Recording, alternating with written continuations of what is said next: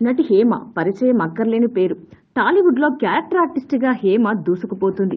సోదరి వదిన తల్లి లాంటి పాత్రలకు హేమ కేర్ ఆఫ్ అడ్రస్గా మారింది. అప్పుడప్పుడు సినీ పరిశ్రమ కార్యక్రమాల్లో కూడా హేమ చురుకుగా పాల్గొంటుంది. ఏదైనా విషయం గురించి మాట్లాడే సమయంలో హేమ ఎలాంటి తడబాటు లేకుండా తన అభిప్రాయాలను ధైర్యంగా చెబుతుంది. తాజాగా హేమకు సంబంధించిన ఓ ఇంటర్వ్యూ ప్రోమో వైరల్ అవుతోంది. పలు వివాదాస్పద అంశాల గురించి మాట్లాడినట్టు తెలుస్తోంది. ఈ ఇంటర్వ్యూలో హేమ మాట్లాడుతూ తానేంటో ఇదివరకే ఇండస్ట్రీలో నిరూపించానని హేమ అన్నారు. హీరో దర్శకుడి కోసం వంద టికెట్స్ అమ్ముడైతే నా కోసం కనీసం పదిహేను టికెట్స్ అయినా అమ్ముడవుతాయని హేమ తెలిపింది. నా కోసం కూడా సినిమా చూసే ప్రేక్షకులున్నారని ఆ విషయాన్ని వినయ విదయ రామ చిత్రంతో కూడా నిరూపించానని హేమ తెలిపింది.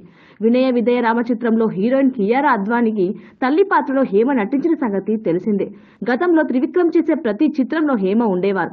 ఇప్పుడు ఆయనతో విభేదాలు ఎందుకు వచ్చాయి అని యాంకర్ ప్రశ్నించగా హేమ ఆసక్తికర సమాధానం ఇచ్చింది. రెమ్యునరేషన్ విషయంలో ఆయనతో విభేదాలు వచ్చాయని తెలిపింది. అందుకే త్రివిక్రమ్ ఎదురుగా వస్తున్నా పక్కకు తప్పుకొని వెళ్తున్నానని అంతగా తన కోపం వచ్చిందని హేమ ఆసక్తికర వ్యాఖ్యలు చేసింది.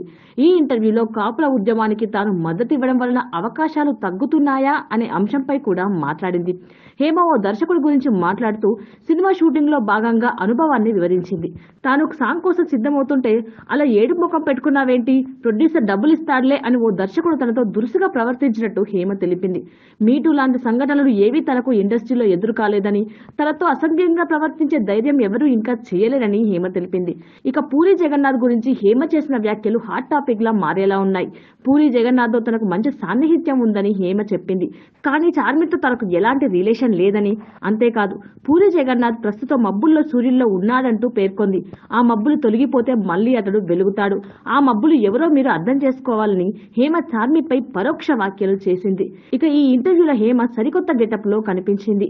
మామూలుగా అయితే కొంత మోడర్న్గా కనపడడానికి ఇష్టపడే హేమ ఏకంగా బాయ్ హెయిర్ కట్తో కనిపించి అచ్చం అబ్బాయిలాగే షాక్ ఇచ్చింది